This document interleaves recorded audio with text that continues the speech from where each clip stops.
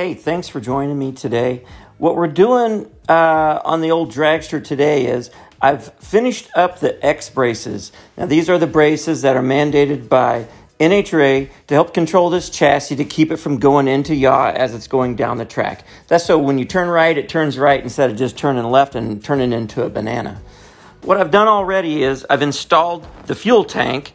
It's cleaned out, blown out, the whole nine yards. And what we're going to do is hook up the main fuel line in this front bay assembly. Now, there's a couple tricks that I've learned along the way that I'm just going to pass on to you guys, but this is what we use to actually connect the two metal pipes together. There's actually more than two. There's, let's see here, I've got this in one, two, three, four different sections actually, including the white pipe that goes to the pump. But one thing you don't want to happen is you don't want these things making contact with each other. Um, if it does that, what it can do is it can give a little bit of a burr. And that little burr comes off that aluminum right there and will actually go into the fuel system. Once it travels through the fuel system, it'll make its way all the way down through this pipe, down through this, the pipe under the deal, up through the white pipe, into the pump, comes out the pump, goes through the barrel valve, into the engine, and plugs the nozzle either in the head, the blower, the manifold, and then boom. That's right. One little chunk of aluminum can plug a nozzle and cause that to happen. So, in order for that to happen, there's a couple measurements that I make. It's really easy. On this particular deal here, I've already got the piece mounted, um, the silicone hose piece mounted on the main part that goes underneath the driver's seat. And I'm going to go ahead and measure it and mark it on a zip tie. Then I'll take that piece, put the addition of how much, how far I want it away from the other pipe, and then mark that on the pipe. That way I know how far that pipe needs to slide into the other sleeve.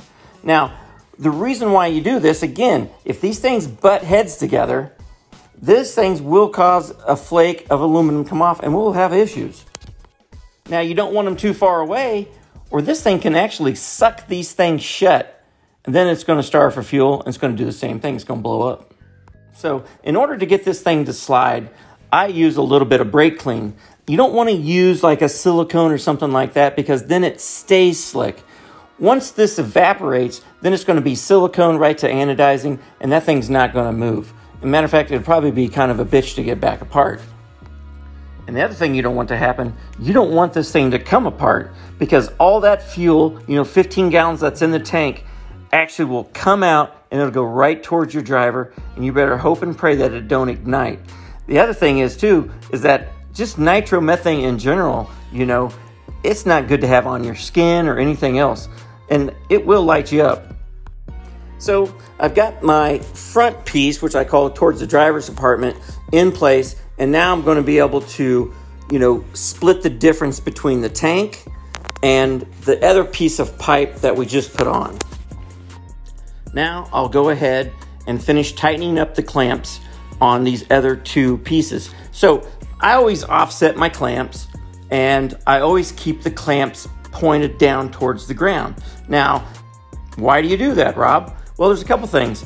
The, these clamps all have like a splice area, what you say, or an overlap of where it runs on top of each other. So you're just going to put those instead of lining them up with each clamp, you're going to offset them. That way, so it doesn't have a fuel have a way of traveling out. You know, it has to go and make a turn and come back out the other way. You're just not lining them up. Next thing is the reason why you point them down because if the body's on the car, when it's up on the Projects, you can do a quick check on these things from the bottom side. That's it. You're just trying to make things simple as possible.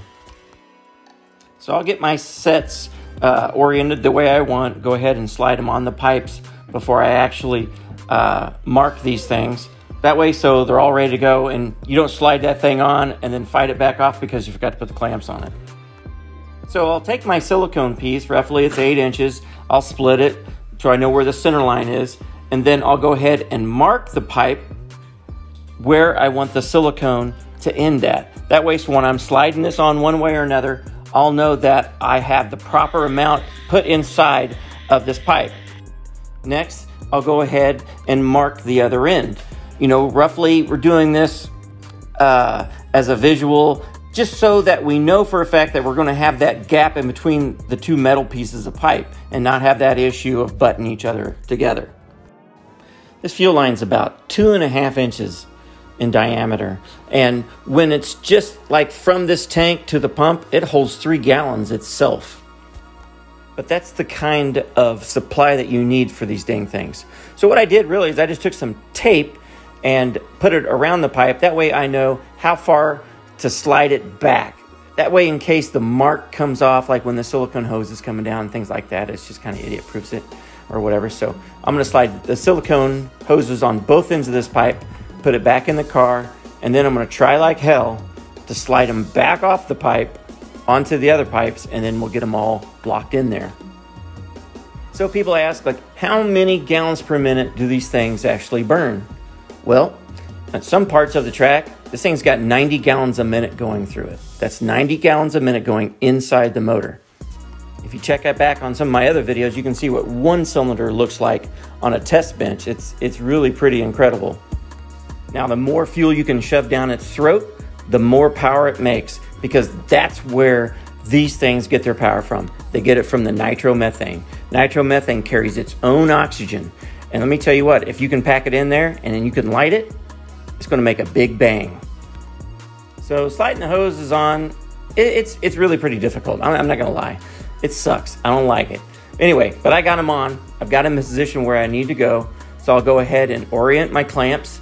And you can actually see here where there's a bulge area that's trying to keep these things from sliding apart. But I've seen people put new cars together and not have good connections here. And this pipe come off and it dumps that whole amount of fuel right on the track. Anyway, I want to explain a couple things here. So this right here, this is the vent for the tank. Yep, that hole inside that is the vent. That hole in the very front is how we tow this thing around, and normally there's a wing that sets on the front there. So that's how we hook up to the car when we're pulling it around. The hole there in the center, that right there is for the steering shaft. Goes all the way through the tank, right up here to the little rack that's up here, then that's what turns the, turns the wheels. So now we'll pop the cap off here. I want to show you the inside of this thing. Here's our vent tube. Yep, that's right. That tube is solid, goes all the way and connects to a tube that goes inside that other piece that's in the front that I showed you, and that's how it goes to atmosphere. Also, there's actual pressure that's put on top of this tank as it's going 300 miles an hour down the track. Now, this right here, that weld, there's a baffle that's inside this tank.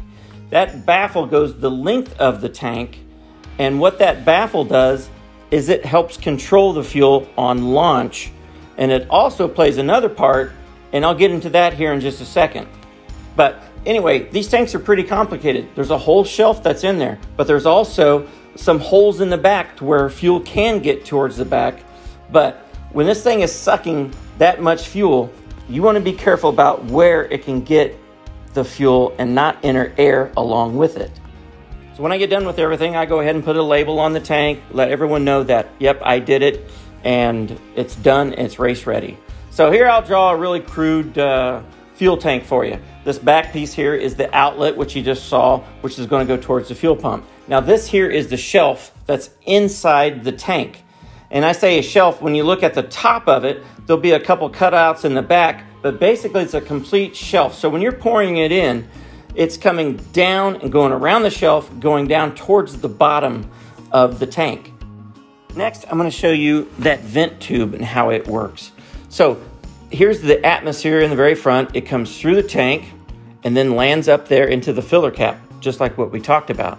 Now, if you think if we didn't have this thing vented, this thing sucks so hard it would just collapse this tank into nothing. And this happened before when people didn't uncover the fuel vent for these things. It just like would suck it completely shut. So under acceleration, what happens is, is that that fuel underneath here is shoved towards the back. It can't slosh up towards the top. It has to go to the inlet. So now you have this great head pressure uh, on the inlet of the pump. And what that does is it helps it from cavitating. This is what cavitation is. Cavitation is, say, when you have a bathtub full of water and you un- pull the plug out on that thing and you start seeing a swirl of of basically air getting into the drain itself, that is cavitation. So here, let me kind of draw it for you. Here's a tank, drain, and what happens is if it doesn't have that head pressure, which is the atmosphere and the weight of the water on top of the inlet, like when the tub's full, you won't see that develop, that tornado effect develop. But as it gets lower and the less head pressure is on top of that inlet, then it's able to go up and suck air. And when you have air in the system, that is not fuel, and so it leans it out, it cavitates, and it'll blow this thing up. So now all the fuel lines are in, and I've explained to you guys what the shape and why the fuel tank looks like it does, I'm gonna go ahead and put all these stringers in. So eh, if you understand what these stringers do, it's basically it's boxing this thing in to where the uprights can't pass each other. Does that make sense? So when you're pushing real hard one direction and you've got, you know, 2,000 pounds of downforce on the front and you got, you know, 7,500 on the back and you're turning one direction, you want this whole snake to stay straight. You want it to react what the driver is inputting into it, and that's what's going to keep this from happening. Now, on this particular car, it was built last year, and we built it out of 048 thick tubing, where currently a lot of the stuff is 049. So that actually makes this car a little easier to drive because it, the tubing's thicker. Thanks for watching. Now we're going to install this puppy, so stay tuned. The control system.